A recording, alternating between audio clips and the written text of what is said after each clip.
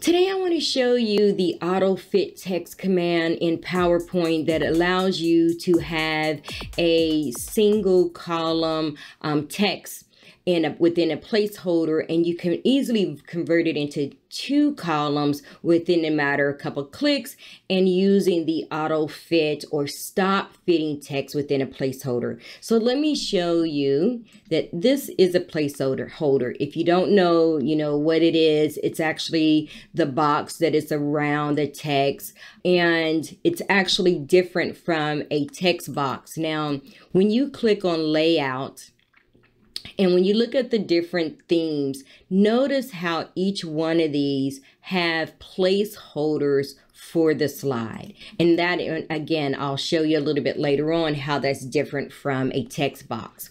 But in this one, the default size is 36. And we're going to add some text by using the rand command, five paragraphs and three sentences. And I'm going to press enter.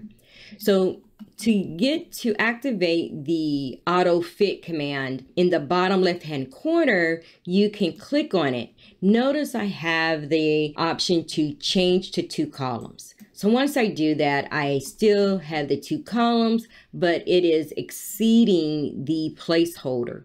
Well, that's where the auto fit text placeholder come into play that when you once you click on it that the font will resize and fit everything inside that box. Now I'm going to create a new slide for you and I'm going to show you the difference between a text box. So I'm going to go ahead and remove this placeholder.